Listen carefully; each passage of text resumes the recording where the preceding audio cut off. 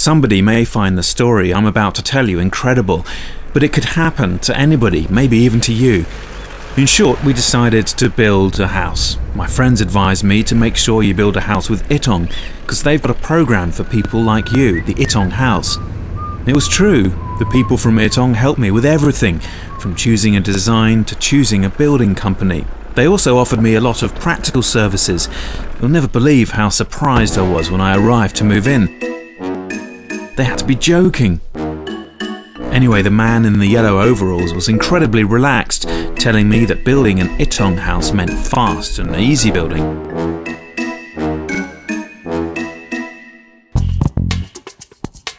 With a bit of help, even the clumsiest guy could manage it.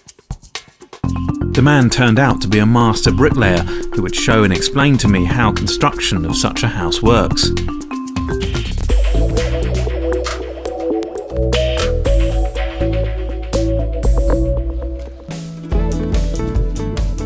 Building site is prepared in the same way as any other. The most important steps are setting out and digging the foundation, compacting the base, placing the reinforcements and concreting over the foundation plate. Of course, all the steps are vital since the quality of the foundation affects the whole building process. Thoroughness pays. Any imprecision at the beginning is hard to make up for later on. When the foundation concrete has set, you can start bricklaying.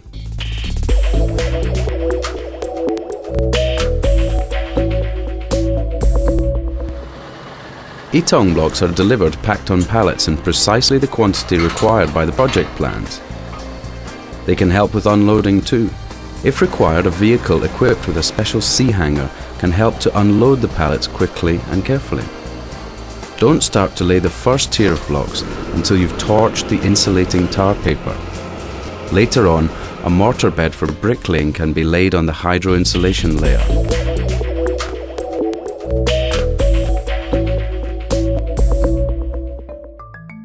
Precision in the laying of the first tier of the blocks is the be-all and end-all of fast and trouble-free construction.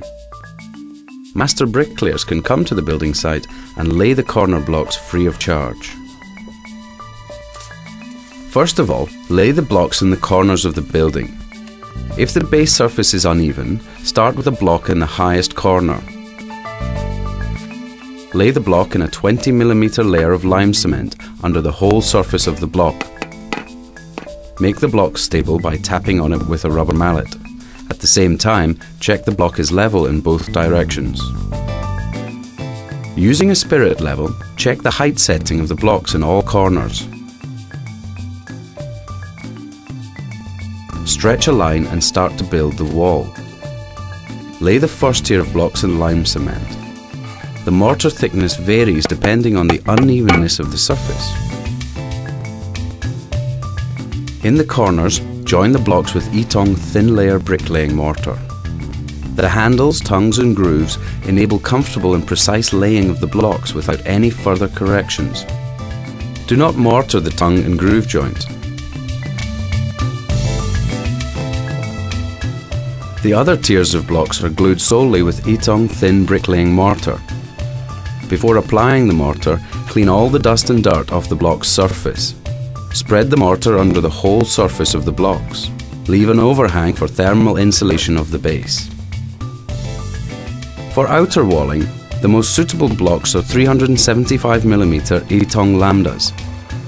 They're not thermally insulated since the thermal insulating features of Ytong are excellent. If Ytong tools are employed, the labour becomes easier and more efficient. Ensure good bonding of blocks.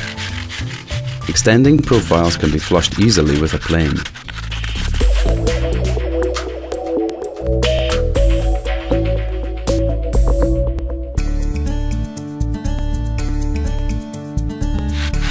If there is any unevenness, it can be planed.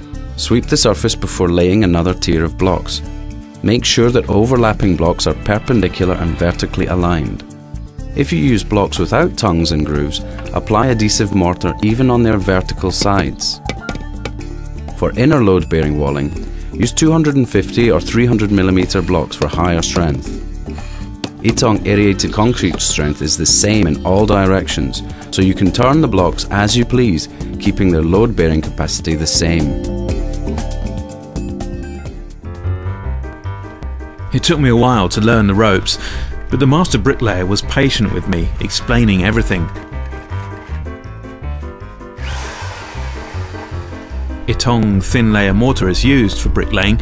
I understood why the mortar is called glue. It has similar properties.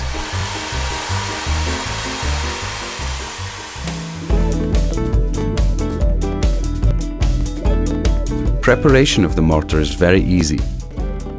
All you need to do is mix it with an ordinary electric drill, so you don't need a mixer at the building site. The mortar is applied in thin layers. Much less of it is used in this way than if the classic technology is employed.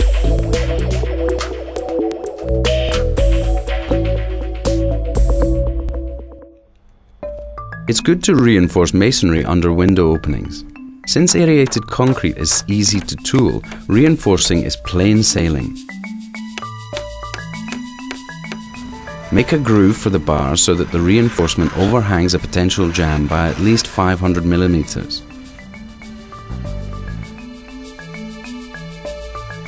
Clean out the grooves, fill them with mortar, put in the bars, mortar properly and lay the blocks in the usual way.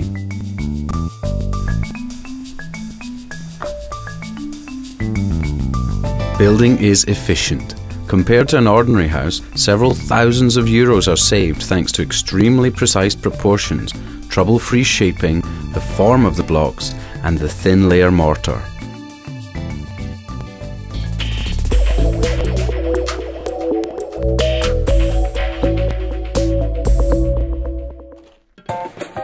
An outstanding property of Ytong blocks is their machinability. They are easy to cut and shape, which reduces the material costs. No need to order shaped blocks or special expensive components.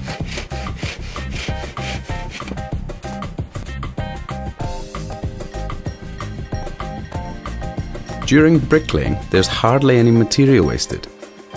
A bandsaw can be borrowed on request. Although Ytong material is harmless to health, make sure to use protective clothing.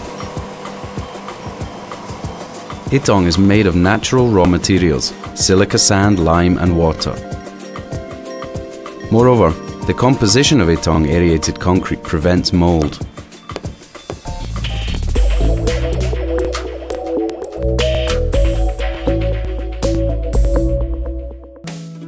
The easiest way to span openings is with load-bearing lintels.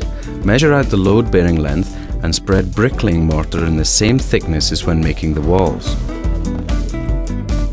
Make sure that the arrows drawn on the lintel point upwards.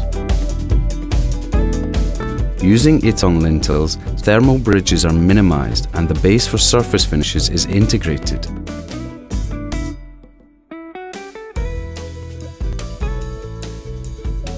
Then you can fill in any gaps.